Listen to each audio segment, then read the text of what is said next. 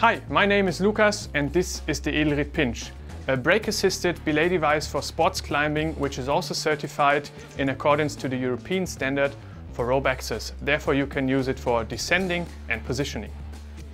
To insert the rope, you press the button and swing open the right side plate. You lay in the rope in accordance to the markings on and in the device. The rope that goes to the anchor point is on the back side of the device. To close the device, you swing close the side plate and make sure that the button locks. To attach the device to your harness, a locking carabiner is mandatory.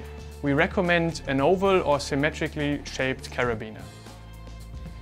In contrast to other devices, the pinch can be attached in 90 degree steps of orientation onto your harness. Furthermore, the pinch can be directly attached to your harness without using a carabiner. Due to the cam geometry, it's really easy to pull the rope through the device while ascending. For a comfortable descent, redirect your braking rope and keep it under control while pulling the lever. The device comes with an anti-panic function. This means whenever you pull the lever too far, the mechanism disengages the lever and the cam locks again.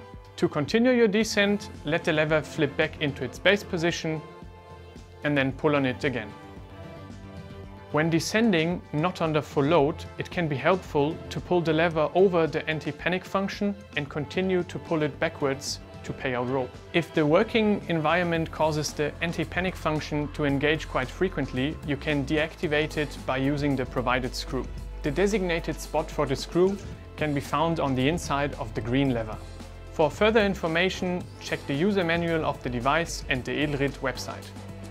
To lower a person, attach the device to an anchor point and make sure that the lever is accessible under load. Redirect your braking rope and keep it under control while pulling on the lever. The Edelrid Pinch, a lightweight and small device not only for sports climbing and multi-pitch, but also for rope access.